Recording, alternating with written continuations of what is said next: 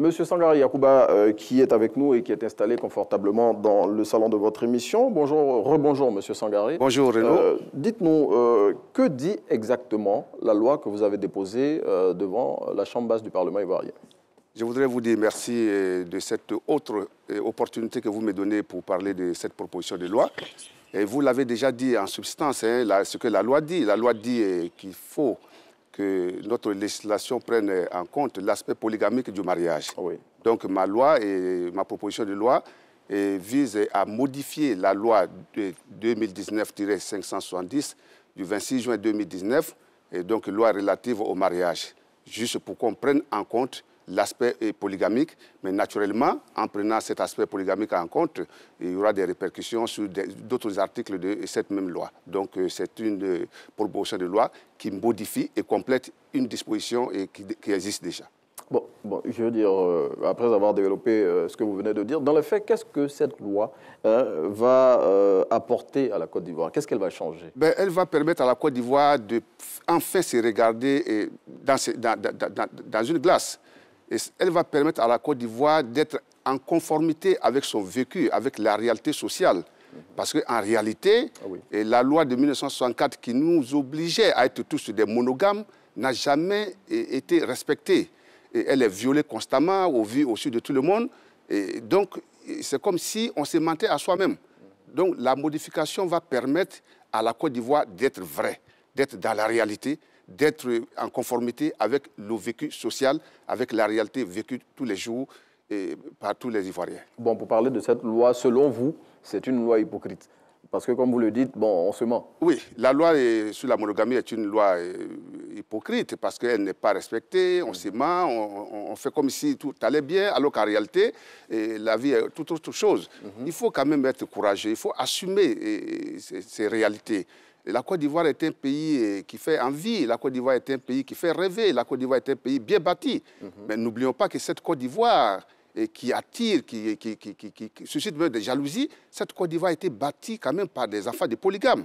Ne l'oublions pas. Donc c'est un héritage, c'est un patrimoine culturel pour nous. Monsieur Sangare, tous les enfants de la Côte d'Ivoire, ce ne sont pas des enfants de, foyers polygames Dans une grande majorité, ceux qui ont bâti mhm. la Côte d'Ivoire sont issus de foyers polygamiques, quelquefois, et même polygames, la majorité d'entre eux. Monsieur les femmes pour lesquelles vous avez fait cette proposition de loi, euh, en tout cas pour la plupart, ne se reconnaissent pas euh, dans ce que vous êtes en train de mener comme combat. Et pour marquer leur opposition, le 11 juillet 2022, Mme Constance Yahi, ex-ministre de la euh, au nom de la Ligue ivoirienne des droits des femmes et de l'Association ivoirienne pour les droits des femmes, a animé un point de presse. Et à cette occasion, elle a indiqué, je la cite, Trop, c'est trop. Ce projet de loi est une provocation aux droits des femmes. Bon, apparemment, euh, elle ne se sent pas concernée par votre proposition de loi. Madame Constance Yahi, de deux choses l'une. Mhm. Soit elle est une comédienne qui joue un rôle. C'est un peu fort quand même. Non, non, non, j'explique. Hein, c'est un peu fort. Qui joue un rôle. Oui. Enfin, elle dit des choses auxquelles elle-même ne croit pas. Pourquoi? Soit elle est comédienne, soit elle est non, on va pas, des réalités. dire qu'elle est, elle est comédienne. je veux dire, soit, soit, non, soit elle dit des choses mhm. qu'elle ne croit pas, c'est-à-dire elle joue un rôle pour faire plaisir à un certain, à un certain lobby, soit elle ignore totalement les réalités de sa propre société, ce qui mhm. serait vraiment dommage pour quelqu'un de, de, son statut. Non, mais est-ce que ce que vous dites, est-ce que ce que vous dites, euh, c'est voilà, tout le monde qui vit cette expérience ici en Côte d'Ivoire Parce mhm. qu'elle a dit, j'ai suivi cette déclaration, elle dit il n'y a pas de polygamie en Côte d'Ivoire, il n'y a pas de polygame en Côte d'Ivoire. Mais selon, la loi, selon la loi euh, de 1964, en Côte d'Ivoire, il n'y a pas de polygame. C'est ce que vous avez dit. Vous avez dit que c'est une hypocrisie. Oui. Mais la loi la dit qu'en Côte d'Ivoire, la polygamie, des faits, la polygamie des faits existe. Les polygames des faits sont là. Mhm. La polygamie en Côte d'Ivoire n'a pas de religion, elle n'a pas d'ethnie, elle n'a pas de couche sociale. Elle est vécue dans tous les milieux de la Côte d'Ivoire. Nous avons mené des enquêtes, nous avons vu si vous regardez la réaction des populations ivoiriennes... Quand vous parlez d'enquête, c'est sur un échantillon de la population. Ce n'est pas euh, toute la Côte d'Ivoire qui a, qui, a, été l'objet de cette enquête. Depuis que le, débat a commencé, regardez, je voudrais profiter de cette occasion pour remercier des millions d'Ivoiriens mhm. qui m'envoient des messages, qui m'appellent pour faire leurs témoignages, pour faire... Aujourd'hui, quand je sors dans les rues, quand je, quand je voyage à travers la Côte d'Ivoire, c'est partout des gens qui viennent vers moi pour faire des selfies. Ça veut dire que je réponds aux attentes des Ivoiriens. Mais le... En phase avec mon peuple. Monsieur, Monsieur Sangari, euh, Madame Constance Yahi et les deux organisations, plus, plutôt les organisations avec lesquelles elle a fait sa conférence de presse, sont aussi représentatives d'une grande frange de la population ivoirienne. S'il vous plaît. En 1995, la Côte d'Ivoire participe à la conférence des Nations Unies sur les droits des femmes. C'est à Beijing. Et elle y signe plusieurs textes et engagements. Et parmi ces textes, il y en a un qui engage les pays signataires à prendre toutes les mesures appropriées, y compris des dispositions législatives, pour modifier ou abroger toute loi, disposition réglementaire, coutume ou pratique qui constitue une discrimination à l'égard des femmes. Si on tient compte de ce texte, est-ce que vous pensez que votre projet de loi, il peut passer? Ah, Il va passer. À Beijing, mhm. le Cameroun y était, le Sénégal y était, le Gabon y était, le Kenya y était, l'Afrique du Sud y était, mhm. et j'en passe. Ces pays dont je parle, mhm. la polygamie est légale dans, ces pays. Et tous ces pays sont signataires des mêmes accords que la Côte d'Ivoire. Nous, on a quelle particularité aussi importante dans le monde? Il y a 25 pays en Afrique où la polygamie est légale.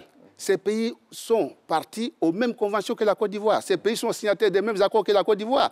La terre n'a pas cessé de tourner dans ces pays. Mhm. Soyons raisonnables, dépassionnons le débat, et parce que la passion et, la raison ne cohabitent pas bien. J'ai dit, Mme Constante Yahi a raté beaucoup d'occasions. Des occasions vraiment devant lesquelles elle avait une tribune pour s'exprimer.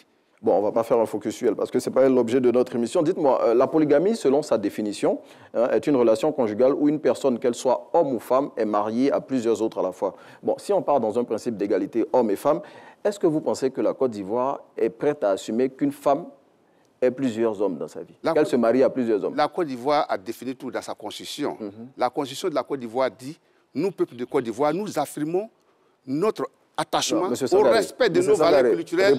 répondez à, ma question. si on parle d'un principe d'égalité, si vous estimez que les hommes peuvent avoir plusieurs femmes, est-ce que vous êtes prêt à accepter que les femmes aient plusieurs Ma loi, expressement, ma loi dit polygamie. Je n'ai pas dit polygénie ni polyandrie. Non, mais la polygamie, dans sa définition, dit clairement que c'est soit un homme ou une femme qui a plusieurs partenaires. Ma loi n'est pas discriminatoire, elle n'est pas discriminatoire.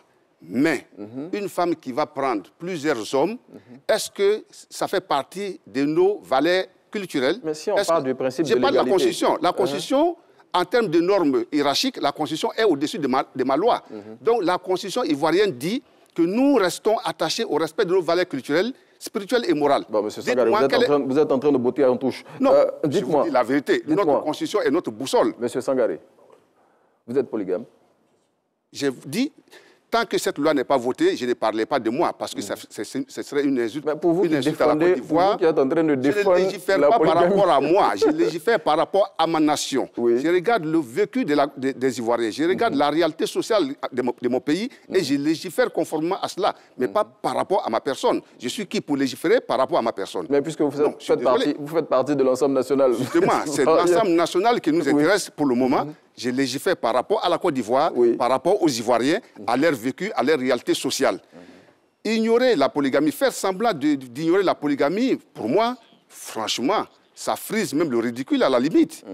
Dans ces pays, les, gens, les polygames sont là, tout le monde les voit, dans l'administration publique, comme dans le secteur privé, comme l'Ivoirien lambda la polygamie est une réalité sociale. Nous devons assumer devant la nation et devant l'humanité nos responsabilités nationales. C'est clair et net, c'est notre vécu. Il n'y a pas de honte à cela. Nous ne sommes pas les premiers pays, nous ne sommes pas le seul pays à vouloir légiférer donc la, sur la polygamie. Ça se fait déjà dans beaucoup de pays, des pays qui ont le même niveau de développement, qui ont, qui, quelquefois même qui nous dépassent. L'Afrique du Sud est mieux développée que nous. La polygamie est légale en, Afrique du Sud. Elle est optionnelle, c'est ce que je propose. On a bien compris. On ne l'impose à euh, personne. Polygamie optionnelle. Donc, euh, si je reviens à vous, euh, M. Sangari, donc si votre loi venait à passer, vous prendriez une deuxième femme Ce n'est pas évident. La polygamie a des conditions. Puisque vous êtes un fervent défenseur de la cause, M. Sangari. La loi est impersonnelle. Il ne faudrait pas ramener la loi à ma personne. on Monsieur Sangaré, Monsieur Sangaré, on vous a bien compris. Merci, merci d'être venu partager ce moment d'Instant Vérité avec nous. Premier invité de, la, euh, de cette rubrique Instant Vérité hein, pour la saison 7 euh, de Matin Bonheur. On est très heureux de vous avoir reçu. Avec lui, on voulait savoir, euh, est-ce que cette polygamie optionnelle qu'il propose de faire passer à l'Assemblée nationale, eh bien, est-ce qu'elle sera bénéfique à la Côte d'Ivoire? Bon, on continue d'attendre et on verra bien si cette loi passera. Merci, Monsieur Sangaré. voilà, nous avons été très heureux de vous présenter ce programme. Hein. Je rappelle, je tiens à rappeler pour la rubrique Challenge matinale qu'on a une gagnante. elle se nomme Djiré Fatoumata et elle réside dans la commune d'Atekoubé. Voilà, madame, vous êtes invitée à venir nous rejoindre le vendredi prochain voilà, pour participer à Matin Bonheur et surtout repartir avec un lot de l'équipe de production de votre matinale. Merci d'avoir été en notre compagnie. Merci encore à M. Euh, Sangaré euh, Yakouba, député de la commune de Koumassi, je le rappelle. Merci à toutes les personnes qui se sont succédées au cours de cette émission. Merci à toute l'équipe de production. On se retrouve demain matin dès 6h25 pour le deuxième numéro du Matin Bonheur de cette semaine. Allez, bonne journée sur RTI 1.